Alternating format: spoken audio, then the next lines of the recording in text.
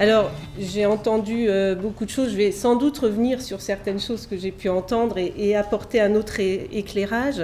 Euh, je voudrais rappeler que nos enjeux, c'est quand même de produire plus, tout en produisant mieux et en produisant aussi autre chose. Alors pourquoi autre chose? C'est que on parle biocarburant de deuxième génération. On aura sans doute euh, besoin de, biomasse pour, pour alimenter ces usines de, de, biocarburant de deuxième génération. Donc il faudra produire autre chose. Donc produire plus, mieux et autre chose. Bon, alors là, euh, ça, ça va être plus des arguments basiques, mais pour maintenir la compétitivité en termes de quantité, en termes de qualité de nos exploitations agricoles et puis des filières sur le marché français et aussi à l'export.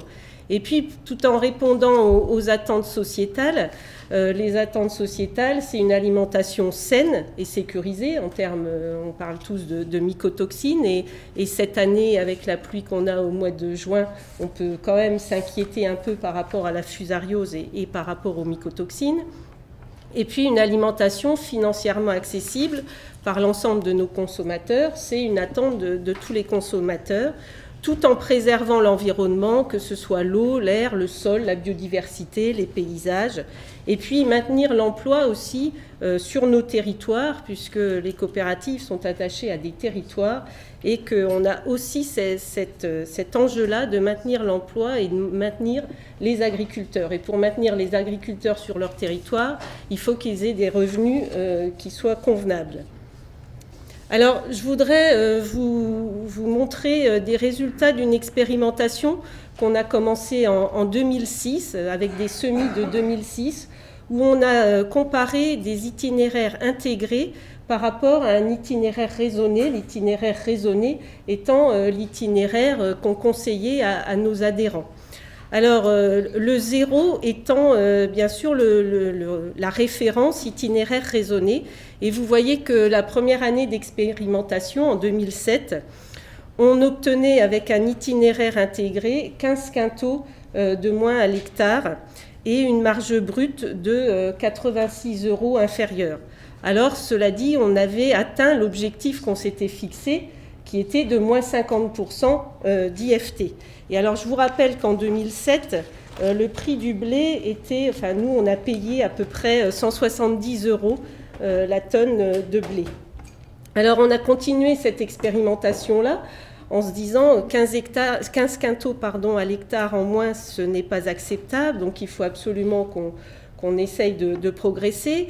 On a remis en place des essais en 2008. En 2008, en fonction de la pression maladie qui était un peu plus faible, on a, eu seulement 10 quintaux euh, d'écart, euh, seulement 9 euh, euros de marge brute en moins. Et là encore, un, objectif d'IFT qui était atteint, mais on avait quand même 10 quintaux, 10 quintaux d'écart, et pour nous, ce n'était toujours pas acceptable. Alors, on avait en 2007 et 2008 euh, appliquer un itinéraire intégré euh, assez strict, c'est-à-dire que de façon arbitraire, on avait décalé la date de semis, on avait réduit de 20 unités l'azote, on, avait euh, utilisé un seul traitement fongicide, enfin on avait utilisé un, itinéraire intégré très, très strict. Et on s'est dit que bah voilà, ce, cet itinéraire intégré strict ne nous permettrait pas de maintenir la production et de maintenir la marge brute. Donc en 2009, on a un petit peu assoupli euh, cet itinéraire euh, intégré et on est arrivé à une différence de rendement de seulement 7,5 quintaux, mais qui est encore énorme. Bon, pour la coopérative, à l'époque, c'était Champagne Céréales, mais Vivesia aujourd'hui, sur 4 millions de tonnes collectées, on collecte 2 millions de tonnes de blé. Donc euh, l'impact sur euh, toute la solde de blé à 7,5 quintaux, si on se projette, ça fait énormément de tonnes. Donc euh, on, a estimé que c'était mieux, mais que c'était toujours pas acceptable. Alors pour les années suivantes, on s'est dit, bah, tant pis, on va pas forcément viser le 50% d'IFT en moins. On va essayer de beaucoup plus raisonner et d'essayer de, de faire ce qu'on peut, mais sans se fixer un objectif de 50% d'IFT en moins. Et on arrive en 2010 à 5,5 quintaux de différence et en 2011 2,7 quintaux. On a continué cette année, on attend euh, la récolte avec impatience, mais avec euh, les, pressions maladies, on va peut-être avoir euh, une, tendance qui va peut-être un peu s'inverser. Mais vous voyez qu'on n'atteint plus l'objectif de moins 50% d'IFT. Donc les écarts de rendement se sont bien réduits au fil des ans. La marge brute est préservée, mais alors je ne vous ai pas dit, en 2008, le prix du blé était à 150 euros. En 2009, quand on a une marge brute positive, en faveur de, de l'itinéraire intégré, on n'est qu'à 100 euros. Euh, c'est quand même pas un objectif de prix pour le blé. Donc on est plutôt euh, actuellement euh, au mois de juin, à l'heure où je vous parle, on est plutôt à un prix du blé à 200 euros la tonne. Donc dès qu'on a un impact rendement de la production intégrée, ça chiffre forcément sur, sur la marge brute. Donc en fait, alors comment dire, les, résultats ou, tout du moins les conclusions qu'on a un peu tirées de, cette expérimentation, c'est qu'avec moins 50% d'IFT, c'est quand même très difficile de maintenir la production du blé et de maintenir la marge brute. Avec moins 30%, ça paraît moins difficile, mais en considérant que chaque poste de l'itinéraire est parfaitement raisonné, alors quand je dis parfaitement raisonné, ça veut dire qu'on utilise toutes les références, qu'on observe, qu'on utilise les outils d'aide à la décision. Et je vous rappelle là qu'on est dans des conditions d'essai. Donc dans les essais, les techniciens forcément suivent euh, les, essais euh, semaine par semaine, euh, presque jour par jour dans certains cas. Donc ce sont les conditions idéales. Le raisonnement et la conduite culturelle sont individualisés à la parcelle et puis les interventions sont optimisées. Et, dans ce cas-là, 30% nous semble, enfin, de réduction de l'IFT nous semble un, peu plus accessible, on va dire. Et euh, on anime depuis un an et demi un réseau de fermes éco-phyto euh, qui devrait nous permettre de le vérifier parce que ce qu'on nous reproche souvent dans cette expérimentation, c'est en effet qu'on est en petite parcelle et euh, qu'on n'est pas sur des parcelles d'agriculteurs parce que ce que j'ai pas dit non plus, c'est que c'est beaucoup plus facile de faire une impasse fongicide sur une micro-parcelle que dans un champ euh, d'un agriculteur. Donc euh, je, pense que ces résultats-là euh, en, essai doivent être confirmés au travers de, notre réseau de fermes écophyto. Et on, a on anime donc depuis un an et demi un réseau en terre de craie et euh, pour être allé euh, hier à une journée organisée par euh, l'INRA de Dijon, qui nous présentait les, premiers résultats d'une expérimentation longue durée sur un système de culture permettant de lutter contre les, mauvaises herbes, les grandes conclusions sont de dire, au bout de six ans d'expérimentation, par rapport à un itinéraire de référence avec une rotation colza et orge, on arrive à maîtriser les mauvaises herbes, mais on a moins 19% de rendement en blé et moins 100 euros de, l'hectare de, marge brute. Donc, euh, et, en partant, euh, comme je vous le dis, d'une rotation colzable et orge. Nous, par exemple, dans notre réseau de fermes écophyto, on est en terre de craie avec des agriculteurs qui ont déjà une rotation longue, qui ont de la luzerne, de la betterave, des pommes de terre, parfois du tournesol. Donc, euh, on se pose la question, et j'ai posé la question hier à, l'INRA, quel levier on actionne euh, dans des terres comme nos, sols de craie. Et, je pense, pour rebondir par rapport à une remarque qui était faite tout à l'heure, c'est que en effet, il n'y a pas de, solution miracle qui va fonctionner chez tout le monde. Voilà, nous, on a une problématique terre de craie euh, qui est assez euh, territoriale et assez localisée. Et on ne va pas apporter les mêmes réponses à nos adhérents en sol de craie qu'aux bourguignons à qui on dit bah, allongez un peu votre rotation par rapport à colza, orge blé, essayer d'introduire un peu euh, d'autres cultures. On a parlé tout à l'heure, euh, je pense que c'est euh, Nathalie qui a parlé des mélanges de variétés. On a fait trois années d'expérimentation en mélangeant des variétés, alors avec le souci bien sûr d'avoir des débouchés pour ces mélanges de variétés. Donc on a travaillé ça avec, avec un meunier. On a choisi donc quatre variétés euh, BPS, Apache, Caporne, Euclide, Premio, euh, qu'on a semé euh, séparément et en mélange, en les associant. Et vous voyez que en termes de résultats, en termes de maladie, on a un petit peu diminué la pression oïdium et la pression septoriose quand on a une association des quatre variétés.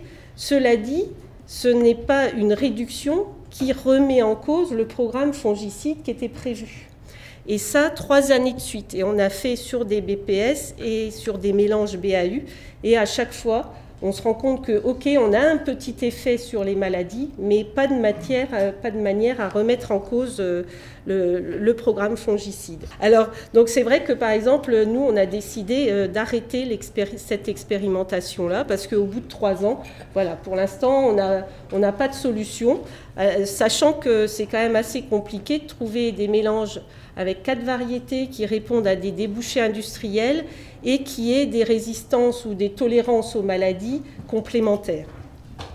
Alors on a fait aussi, on a testé aussi euh, des mélanges blé-pois euh, sur lesquels on n'a pas vu non plus euh, de, réduction possible de l'apport d'azote. On a juste vu dans le mélange un peu plus de protéines dans le blé. Donc on n'a pas écarté cette, cette solution-là, mais en la conseillant plutôt à des éleveurs qui auraient un intérêt à, donner cet aliment en direct parce qu'il y a plus de protéines mais nous, vu le faible gain de protéines dans le blé, imaginez derrière le triage dans les silos et la complexité logistique que ça engendre, on a aussi euh, préféré euh, écarter ce, levier.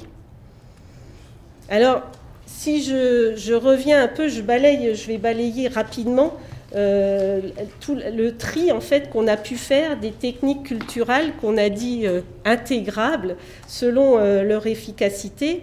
Euh, vous voyez que pour réduire l'utilisation des fongicides, hormis le choix variétal qui est gagnant euh, à tout coup, j'allais dire, euh, on a quand même très peu de, leviers pour réduire l'utilisation des, fongicides. Alors on a aussi le précédent et la rotation pour certaines maladies, mais pas pour toutes. Donc le choix variétal, c'est vraiment le levier premier et, on attend beaucoup de la génétique et, de l'évolution de la génétique, tout en sachant qu'on se prive des OGM quand même actuellement, et donc on se prive d'une partie d'innovation. En termes d'utilisation des herbicides, eh bien oui, on peut retarder les dates de semis, mais je vais y revenir après. On sait que quand on retarde une date de semis de blé, on pénalise le rendement d'entrée. On, fait ce, pari-là, entre guillemets, de se dire on retarde la date de semis, mais on se pénalise en termes de rendement en blé. Donc on, a les dates de semis retardées, on a les désherbages mécaniques, euh, mais là aussi on a testé RC tri ou rotative, etc. Dans certaines cultures, ça peut fonctionner. Après, en fonction du climat de l'année, euh, c'est aussi euh, plus aléatoire. Si on parle de régulateurs, par exemple, hormis le choix variétal, et puis, alors bien sûr, des apports d'azote euh, minorés, euh, on a quand même très peu de leviers pour réduire l'usage des régulateurs. Et cette année, on observe quand même certaines parcelles qui ont versé, peut-être plus que les autres années, vu le climat qu'on a eu au mois de juin qui est en train de se terminer. Et puis alors, une autre problématique, qui est quand même la problématique des, insectes et euh, de l'utilisation des, insecticides et des antilimaces. Euh, hormis une date de semis euh, retardée qui peut être favorable aux pucerons automne, enfin ou défavorable plutôt aux pucerons automne, on a là aussi très peu de leviers identifiés. là, bien sûr, je parle toujours du blé.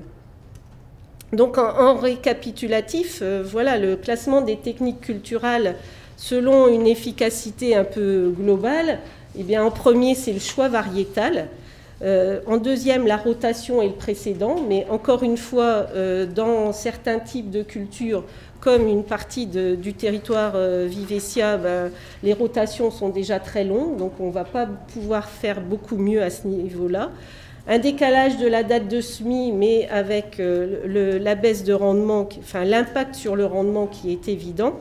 Et puis on a euh, d'autres techniques, mais qui sont euh, quand même plus aléatoires et dont l'efficacité n'est sans doute pas la même que, que l'efficacité des trois précédents leviers. Alors, Là, bon, je, vais reprendre un peu certaines choses, donc je, vais passer très vite, mais on a voulu euh, montrer qu'il y avait l'effet de certaines techniques culturelles euh, qui pouvaient avoir un impact euh, potentiel sur, sur le rendement en, blé. Et tout ça pour dire que voilà, la rotation peut avoir un impact positif, mais aussi parfois peut avoir un impact négatif. La date de semis, on sait que ça peut avoir un impact négatif une année, euh, enfin certaines années, euh, l'impact peut être nul. Donc euh, on a essayé de, classer un petit peu l'effet sur le potentiel de rendement de ces différentes techniques. Et on, se dit qu'en fait, un itinéraire intégré ne peut pas être appliqué sans discernement sur l'ensemble de la sol de blé, parce que sinon, on a des pertes de rendement quasi systématiques. Donc il faut vraiment raisonner à la parcelle et euh, avec la nécessité de combiner au mieux les, techniques intégrables en fonction de chaque situation. Et je vais juste prendre euh, un exemple. C'est euh, le semis d'un blé dans une parcelle, par exemple, qui présente un risque de forte infestation en, en vulpin. Comment on peut réduire l'utilisation d'herbicides et les IFT alors décaler sensiblement la date de semis, encore une fois, on baisse le potentiel de rendement, mais comment on peut minimiser la perte de marge brute qui est liée à cette baisse de potentiel? Ben, On peut se dire on profite du semis retardé euh, pour éviter l'utilisation de certains intrants comme euh, les régulateurs de croissance ou les anti-pieds inverses, si on choisit une variété qui, du fait du décalage de la date de semis, pourra se passer euh, sans prendre trop de risques de ces intrants. Euh, on peut se dire la protection insecticide puceron d'automne est inutile puisqu'on a décalé la date de semis. Et puis éventuellement, on peut alléger la protection antiseptoriose. Mais euh, dès le départ, en fait, dès le, premier critère retenu, on sait qu'on impacte négativement.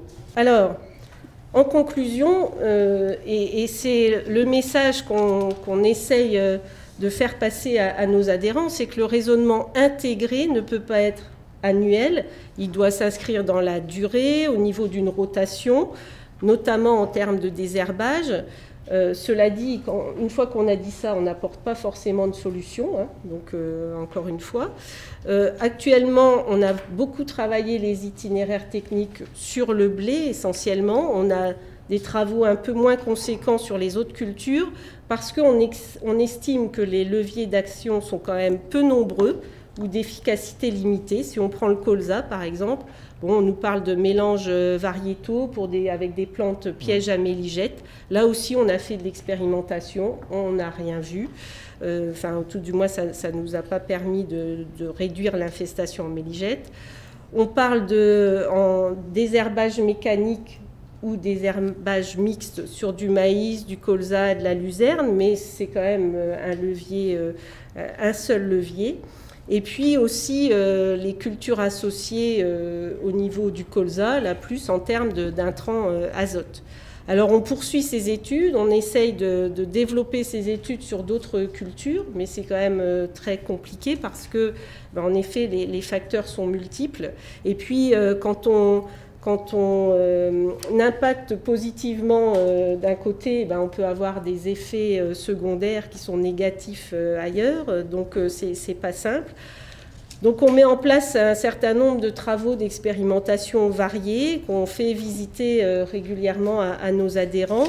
Ça nécessite des références multiples et euh, j'ai envie de dire que toutes ces réflexions, on doit encore plus les partager avec Arvalis, avec l'INRA, avec le CETIUM, avec l'ITB, euh, avec InVivo, les chambres d'agriculture, enfin j'en passe. Euh, mais que tout le monde doit se relever les manches pour essayer de, travailler sur, sur des solutions innovantes ou des, et, certainement pas des recettes, mais des, solutions qui puissent s'adapter euh, à différents contextes pédoclimatiques, parce que là encore, ce qui est vrai chez l'un n'est pas vrai chez l'autre. Et euh, enfin, si je juste euh, dire que le choix de la variété, comme je l'ai déjà dit, est quand même stratégique. Les outils d'aide à la décision également, et euh, on accompagne nos adhérents et on les sensibilise au, fait de raisonner toutes les applications, utiliser tous les outils d'aide à la décision euh, qu'on met à leur disposition. Euh, et un des outils d'aide à la décision, c'est quand même l'observation, aller dans les parcelles, observer, ça c'est le premier point. Et on essaye d'accompagner et former nos agriculteurs alors, un des leviers, c'est quand même leur apporter des preuves. Et quelqu'un l'a dit tout à l'heure, si on veut que les agriculteurs changent leurs pratiques, il faut leur apporter des preuves que cette nouvelle pratique ou cette solution innovante fonctionne. Et ce n'est pas seulement à dire d'experts qu'on peut le faire, il faut leur montrer que ça fonctionne, que ça ne va pas leur pénaliser le rendement, que ça ne va pas pénaliser leur, euh, leur marge brute. Et puis, il ne faut pas oublier, encore une fois, je le rappelle, quand on fait de l'expérimentation, on est en petite parcelle, la prise de risque, elle est quand même très limitée. Un agriculteur, quand il est devant sa parcelle, la prise de risque et l'impact qu'il peut avoir est beaucoup plus euh, important.